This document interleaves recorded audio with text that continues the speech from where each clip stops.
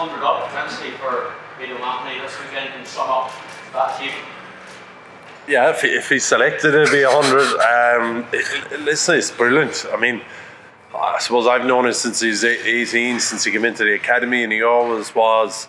Uh, he was always a, a, leader. You know, he always wanted to, I suppose, figure things out. And then once he figured them out, he was able to speak well and, and lead well, and and I suppose set a bit of a set an example. And uh, uh you know, I think he's had a great last few years in his career. I think in terms of. Um, I think he's he's fit. Uh, I think he understands the game more than ever, and that allows him to to play really well and, and, and be aligned with what the coaches want and what's what's best for for the team that he plays in.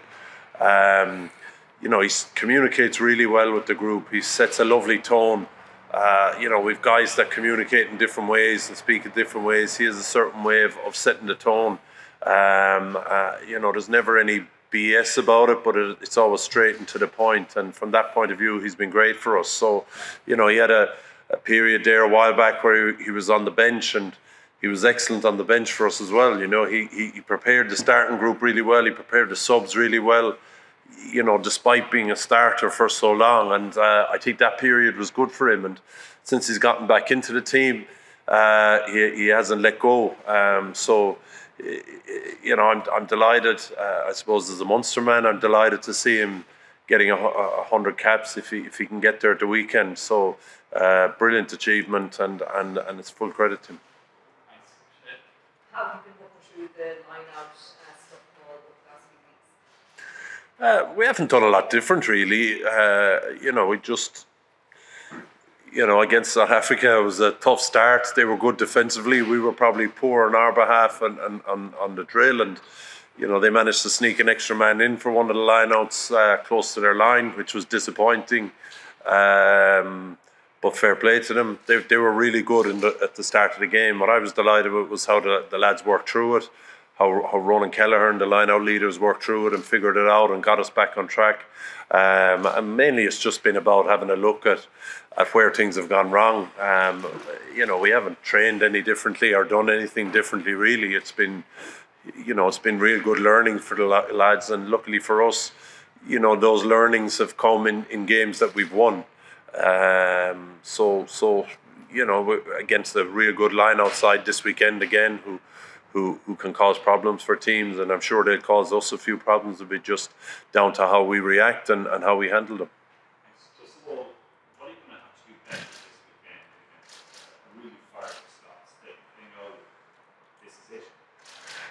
Um, I think that's it. We just have to get better. I think that's one of the things the lads are really good at. They're, they're really good at staying focused on the next game and not looking beyond it. They, I think they kind of acknowledge, you know, whenever we've been on tour down in New Zealand or whenever we were playing in uh, in the Six Nations, you know, in terms of having a chance of winning it, they acknowledge it. They they might have a quick chat about it, and that allows them then focus on just what's in front of them. So staying focused on this game and, and, and absolutely nothing else is a skill set they've gotten really good at. And then we just got to get better. There's a lot of things that we were we were excellent against uh, at against South Africa. But there's a lot of things we can improve on um, um, in terms of our attack, in terms of our defence, um, in terms of the ruck, line out, obviously. So there's always bits to get better at, and that's what that's what I think sometimes helps the lads kind of tune out the noise a little bit of, of, of what might happen after the game. They, they enjoy focusing on the bits and pieces that, that helps them be better and they can ignore the bigger picture of the game at the weekend. Sorry, sorry Justin, we have a lot to get through, so apologies. Uh, yeah, everyone came through training. Robbie is a bit of a niggle, um, and we're finding out about that today. I'm sure there'll be some information on that tomorrow. Um, Robbie Henshaw. Um, you were part of Irish teams that had big wins and they weren't able to back them up. It was kind of a, it was a bit of a peaks and off period. What what's been the key to Ireland consistently was there you, you pinpoint the moment where you it? Where it under Joe or? Um, I think I, I think being able to not rely massively on emotion is is a big part of it. I think it, it's always a big strength of ours how much the lads love playing for Ireland, how how important the kind of history of the team is. You know, you would have seen that during the Six Nations with, with when we we had a great week before we played France when we, we were we had a discussion about the anthems and I think the lads uh, love playing for each other. They love playing for Ireland. They love pulling on the jersey and what it what it means and all that. But we probably don't. That's kind of the icing on the cake now, rather than the whole cake. And uh, uh, I think probably, in fairness, it, it would have come in under Joe and that ability to just be focused on what's right in front of you and not what's too far ahead of you. Uh, um, I think they have a big appetite around just getting better and improving, um, both individually and as a group. Um, and when you get, I think when you get into just getting better, when the focus is all about getting better, you can kind of, you know, you acknowledge the significance of what might happen if you win a game at the weekend for sure, but you're kind of able to ignore it a little bit then as well. Thanks, Jerry. Each new question. Paul, do you practically do this weekend at the beginning of knockout rugby to an extent? Yeah, we just had that. Uh, just had that conversation with, with, with the doctor today. Um, um, that's exactly what it is now this weekend, really for us. Um, you know, we're aware of the permutations, but the focus really is on winning. Um, Bundee, can I ask you a question, please? Um, why playing so well? Eating. nah, yeah. Yeah. Seriously, why are you so well? What, what, what, what reasons are? Um, geez, it's I say it's not up. It's, it's from the whole team, really. Um, yeah, it's from the team, not from me. I'm just getting on the back end of obviously what he's doing with the forwards and getting good front football, and then me on top of it. So no, I think it's a, it's a collective. Um, I wouldn't say it's just me playing well. I think there's a whole lot of us that's playing really well. I'm just probably getting the end of the stick of it. So yeah. I enjoy your rugby now more than ever, maybe. Yeah, I am. I'm enjoying rugby. Um, I think the as a group and as a team, we're enjoying each other's company, um, and it's, it's it's really fun at the moment. But we all know that what lies ahead in the competition that's coming. Um, so yeah. Then there's a lot of competition in the centre. Does does that drive your own form performances of having the likes of Garry and, Robbie and Stu? Yeah, I think there's always been a competition in the midfield, um, which is very good, um, especially when everyone's healthy.